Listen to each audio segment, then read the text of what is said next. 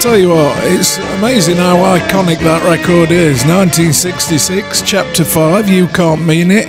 And uh, the reason I say it's uh, amazing because it were five lads from Barrow in Furness in Cumbria, and uh, they were just a I don't know bunch of lads with dark glasses on.